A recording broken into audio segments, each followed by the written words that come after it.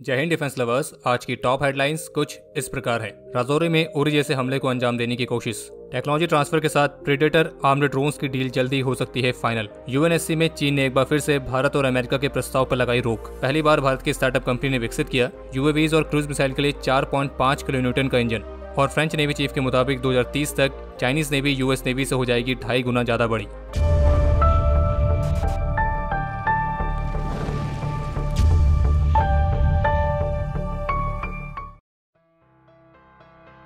आज गुरुवार को आतंकियों द्वारा एक बार फिर से उरी जैसे हमले को अंजाम देने की कोशिश की गई थी। रिपोर्ट्स के मुताबिक आज जम्मू कश्मीर में राजौरी से 25 किलोमीटर की दूरी पर स्थित एक आर्मी कंपनी ऑपरेटिंग बेस पर दो आतंकियों द्वारा सुसाइड अटैक करने की कोशिश की गई थी। हालाँकि वे अपनी इस कोशिश में कामयाब नहीं हो पाए और हमारे अलर्ट आर्मी ट्रूप्स के साथ हुई मुठभेड़ में उन दोनों ही आतंकियों को, यानी कि उन दोनों ही सुअरों को सफलतापूर्वक ढेर कर दिया गया है। लेकिन एक दुखद खबर यह कि इस एंगेजमेंट के दौरान अपने अदम्य साहस और वीरता का परिचय देते हुए सूबेदार राजेंद्र प्रसाद राइफलमैन मनोज कुमार और राइफलमैन लक्ष्मण डी वीर गति को प्राप्त हुए हैं। और जबकि हमारे दो और सोल्जर्स घायल भी हुए हैं और जिनका उपचार अभी चल रहा है, हम ईश्वर से प्रार्थना करते हैं कि हमारे इन तीनों वीरों की आत्मा को शांति मिले। और ये देश इनके सर्वोच्च बलिदान के लिए सदा इनका ऋणी रहेगा। और आर्मी की तरफ़ से दी गई जानकारी के मुताबिक, आज के इस ऑपरेशन में मारे गए दोनों आतंकियों से दो ए के फोर्टी सेवन नौ मैगजीन, तीन सौ राउंड, पाँच ग्रेनेड और अदर एडमिनिस्ट्रेटिव स्टोर्स रिकवर किए गए हैं। और ये भी देखने को मिला है कि ये आतंकी आर्मी की यूनिफॉर्म पहन के आए थे। यानी कि ऐसा लग रहा था कि मानो एक बार फिर से ये उरी जैसे हमले को ही अंजाम देने की कोशिश में थे। और बाकी रिपोर्ट में ये भी बताया गया है कि खराब मौसम और घनी धुंध के कारण ये दोनों आतंकी आर्मी पोस्ट के अंदर घुसने की कोशिश में थे। और ऑफिशियल्स और कुछ आई विटनेसेस के मुताबिक जो पहला गन शॉट था वो वो सुबह के करीब दो बजे सुनाई दिया था, जब ये आतंकी कैंप के बाहर की फेंसिंग को ब्रीच करने की कोशिश कर रहे थे।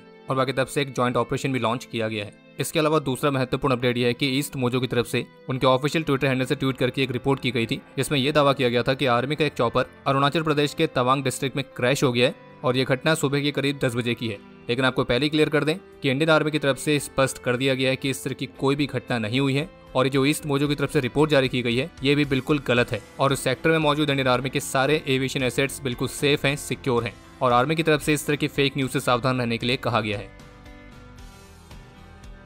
द फाइनेंशियल एक्सप्रेस की तरफ़ से जारी की गई रिपोर्ट के मुताबिक भारत और अमेरिका के बीच 30 प्रिडेटर आर्म्ड ड्रोन वाले जो डील है, उसे बेहद ही जल्द अंतिम रूप दिया जा सकता है। और इस रिपोर्ट में सोर्सेस के हवाले से भी बताया गया कि इस डील के लिए खास तौर पर इंडियन नेवी की तरफ़ से काफ़ी ज़्यादा ज़ोर दिया गया है। और इंडो पैसिफिक और इंडियन ओशन रीजन में भारत की बढ़ती हुई भूमिका को देखते हुए इंडियन नेवी को high altitude long endurance drone की ज़रूरत है और इसके लिए प्रेडेटर आर्म्ड ड्रोन सबसे बेस्ट ऑप्शन है।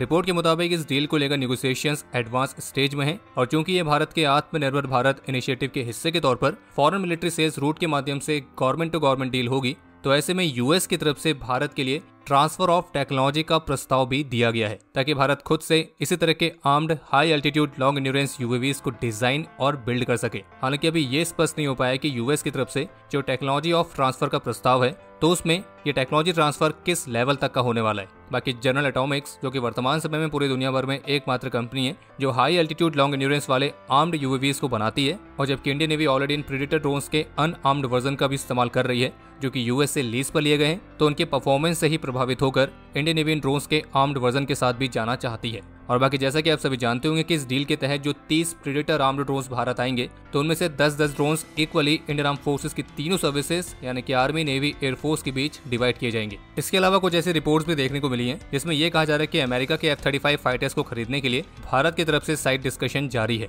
लेकिन इस रिपोर्ट पर अभी किसी भी तरह का कोई भी ऑफिशियल रिमार्क देखने को नहीं मिला है। वैसे आप हमें कमेंट सेक्शन में लिख के ज़रूर बताइए कि आपके हिसाब से इस बात के कितने परसेंट चांस हैं कि भारत कभी एफ़ थर्टी फाइटर के लिए जाएगा। और वो भी इस केस में, एक तो जब भारत के एमएमआर से ये डील काफ़ी लंबे समय से पेंडिंग पड़ी है और दूसरा कि भारत अपना खुद का फाइव प्लस जनरेशन का फाइटर बना रहे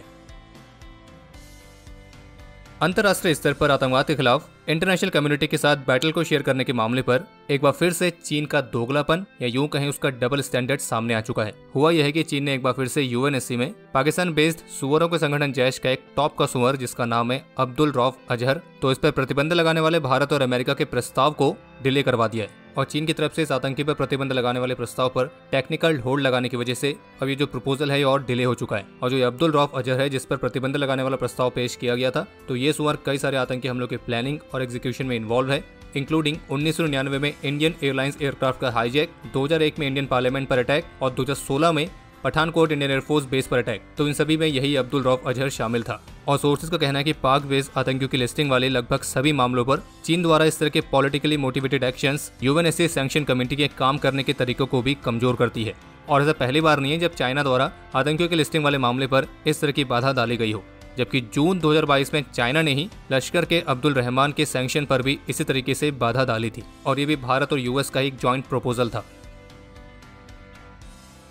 गगनयान मिशन के तहत भारतीय स्पेस एजेंसी इसरो ने एक और मेजर माइलस्टोन को हासिल किया है, और वो ये है कि कल 10 अगस्त 2022 को श्रीहरिकोटा से इसरो ने गगनयान मिशन के क्रू एस्केप सिस्टम के लो एल्टीट्यूड एस्केप मोटर की सफलतापूर्वक टेस्ट फायरिंग को कंप्लीट किया है।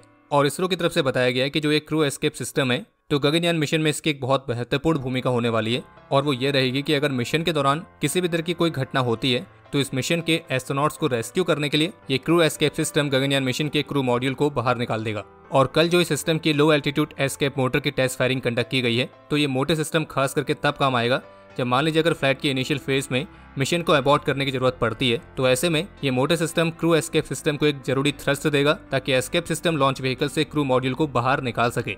और बाकी कल जो इसका टेस्ट कंडक्ट किया गया था, उसके मेन ऑब्जेक्टिव्स थे मोटर बैलिस्टिक पैरामीटर्स को इवेलुएट करना मोटर सब सिस्टम की परफॉर्मेंस को वैलिडेट करना डिज़ाइन मार्जिन को कंफर्म करना, सभी इंटरफेसिस की इंटीग्रिटी को वैलिडेट करना और इसी तरह के कुछ और ऑब्जेक्टिव्स कल के इस टेस्ट में रखे गए थे। और बाकी इसका सफल टेस्ट गगनयान मिशन के लिए एक मेजर माइलस्टोन है। इसके अलावा एक अपडेट ये सामने आया है कि भारत की एक स्टार्टअप कंपनी ने पहली बार क्रूज मिसाइल्स और बड़े साइज़ की यूवीवीएस के लिए एक अत्याधुनिक एरो इंजन को डिज़ाइन करने में एक बड़ी सफलता हासिल करी है। और इस एरो इंजन को 35 फाइव इंजीनियर्स की टीम ने बनाया है, जिसमें कुछ ऐसे चीफ इंजीनियर्स भी थे, जिनके पास ग्लोबल लेवल के ओ एक्सपीरियंस और एक्सपर्टीज है। ग्लोबल यूनिवर्सिटी से पीएचडी और टैलेंटेड ग्रेजुएट्स और आई के स्टूडेंट भी शामिल थे।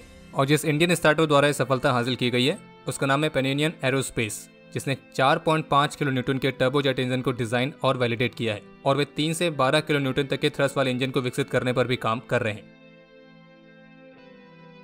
9 अगस्त को भारत के डिफेंस फर्म जेन टेक्नोलॉजीज़ द्वारा नाइजीरियन आर्मी के सामने उनके अत्याधुनिक कॉम्बैट ट्रेनिंग सॉल्यूशंस को पेश किया गया था, जो कि भारत के आत्मनिर्भर भारत इनिशिएटिव के तहत हमारे डिफेंस एक्सपोर्ट को बढ़ावा देने के उद्देश्य के साथ था।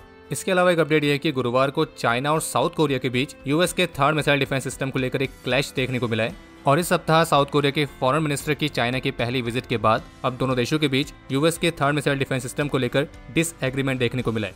कहने का मतलब यह है कि चाइना की तरफ़ से साउथ कोरिया को यह कहा गया था कि वे थर्ड मिसाइल डिफेंस सिस्टम की एडिशनल बैटरीज को डिप्लॉय ना करें और इनके इस्तेमाल को भी लिमिट में रखें। और जबकि साउथ कोरिया का ये कहना है कि वे इस सिस्टम को केवल सेल्फ डिफेंस के लिए इस्तेमाल कर रहे हैं। बाकी इसके अलावा चाइना की तरफ़ से ताइवान के लिए जारी की गई उनके लास्ट वार्निंग के बाद ताइवान की आर्मी ने एक बार फिर से आज गुरुवार को लाइव फायर ड्रिल्स को कंडक्ट किया था और इस ड्रिल के हिस्से के तौर पर कुछ हविट्जर्स और टारगेट फ्लेयर्स को फायर किया गया था। और जबकि चाइना ने आज एक बार फिर से लास्ट वार्निंग जारी करी, जिसमें चाइना के ऑफिसर्स का कहना था कि ताइवान की आज़ादी और उकसावे के लिए बाहरी ताकतों के साथ मिली भगत से केवल उनके स्वयं के निधन में तेज़ी आएगी और ताइवान को आपदा में धकेल दिया जाएगा। इन सबके अलावा एक स्टेटमेंट फ्रेंच नेवी चीफ की तरफ़ से देखने को मिली है जिसमें उन्होंने चाइनीज़ नेवी की प्रोग्रेस के बारे में बात करते हुए ये कहा है कि 2030 तक जो चाइनीज़ नेवी है वो यूएस नेवी के कंपैरिजन में ढाई गुना ज़्यादा बड़ी हो जाएगी। लेकिन इसके साथ उन्होंने ये भी कहा है कि उन्हें यह विश्वास है कि विश्व ताकतों का गठबंधन चीन को हरा सकता है। और खैर, बाकी अब समय है आज के इतिहास का।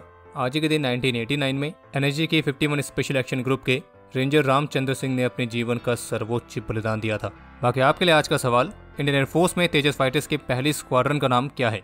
और अब समय है आज के टॉप थ्री कमेंट्स का, जो ये रहे आपकी स्क्रीन पर।